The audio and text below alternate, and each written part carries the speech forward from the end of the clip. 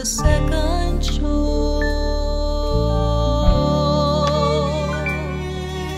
Your guitar, it sounds so sweet and clear, but you're not really here. It's just the radio.